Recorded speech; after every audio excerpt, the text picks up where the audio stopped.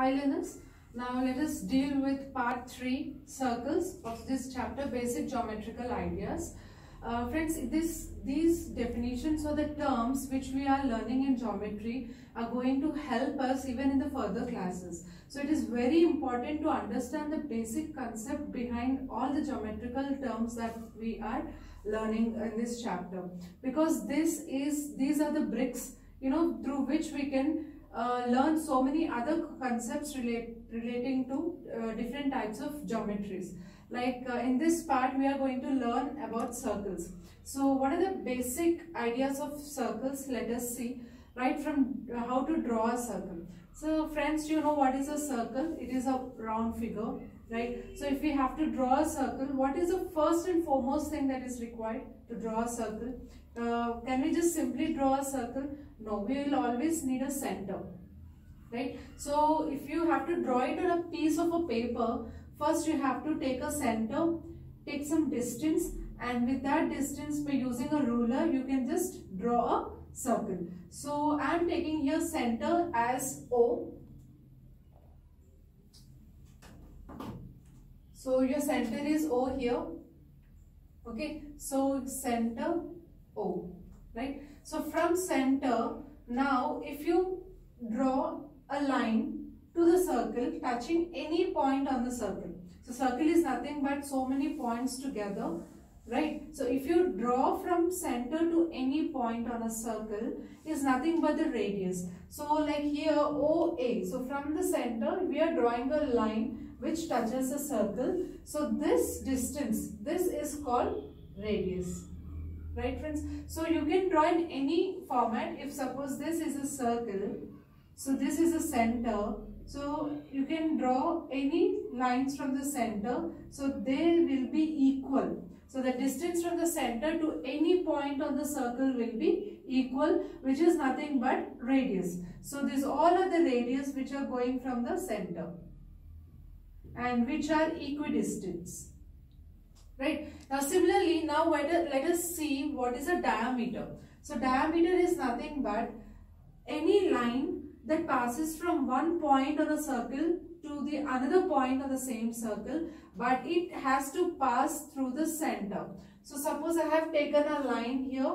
Let me take it as some c and d okay so i have drawn a line on a circle which is passing through the center o and it is passing from one point to the another point on the circle. So any point that passes through the center from one point to the another point is nothing but it is a diameter. So have you noticed one thing friends here? So a diameter if you see the radius is nothing but half of the diameter because radius passes from the center to some point on a circle whereas diameter passes from one point to the another point through the center right? So diameter is nothing but double the radius or you can say that radius is half of the diameter. So diameter you can write it as 2 into radius because it is double the radius or uh, you can take it as capital R here okay? So it is double the radius. So diameter is a point which which is a very important uh, definition of diameter that it has to pass from one point to another point but it has to pass through the center which is very important. Now let us move towards chord.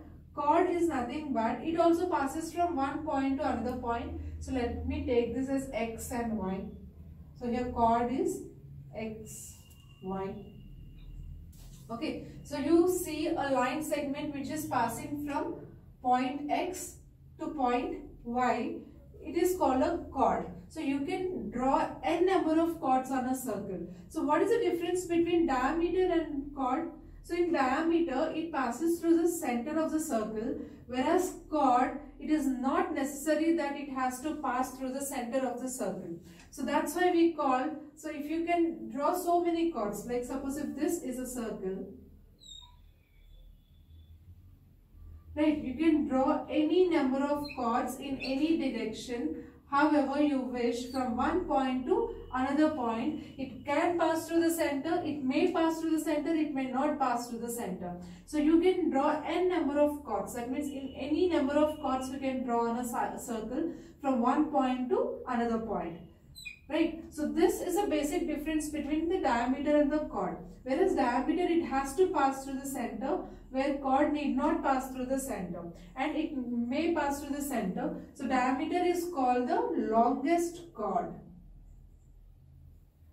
Diameter is called the longest chord because if suppose this is a circle okay now this is a center now I am drawing chords Okay, so can you see friends here? This chord AB, suppose I'm taking it as AB. AB is smaller than CD and CD is smaller than this line segment EF. So EF, as you are going near to the center O, the length of the chord is increasing. So if you go on drawing the lines, at some point, you know, you have some, let us take this PQ. So this is a line which is passing through the center of the circle which is called the diameter. So a chord can be a diameter but uh, even a diameter can be a chord but every chord cannot be a diameter. Right. Now next similarly let us see what is an arc. So what is an arc? Suppose in this figure I have shown in pink P and Q. Okay. So this curve is called the arc right? Any part of a circle, any minor or major part of a circle is called the arc here. So I can say that it is represented like this. This is PQ. So this is the arc PQ with a curve, right? Now let us see what is sector and what is segment. So what is the difference between sector and segment? This, uh, this is very important friends. If you can see, now we know what is an arc if we join this both points to the center. Suppose if we join this both points P from P to center and Q to center O that is PO and OQ. So this area, this area that is formed, this is nothing but it is called the sector of this circle. Okay, so this is a small sector of a circle. Suppose you have a cake, a round cake and if we have cut the cake from the center and if we have removed that piece from it so that piece is nothing but the sector right friends? In the same way if now what let us see what is segment. Segment is nothing but which it, it is related to chord. Sector just remember that it is related to the arc whereas segment is related to chord and sector is related to arc. Sometimes if we may, we, we may confuse between sector and what is a segment. So this is how you can remember. Segment is you know related to chord and sector is related to arc. Like sector we have already discussed that this is the arc PQ from where we have uh, uh, joined to center and this part is called the arc.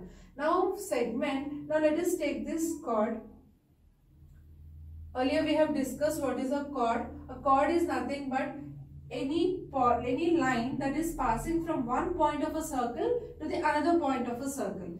Right? Now this portion, this area inside this, you know, this, this, this is an arc, right? XY we can call this is this can be an arc and this can be the line uh, chord. So between this whatever the area you have, this is called segment. And this is called sector.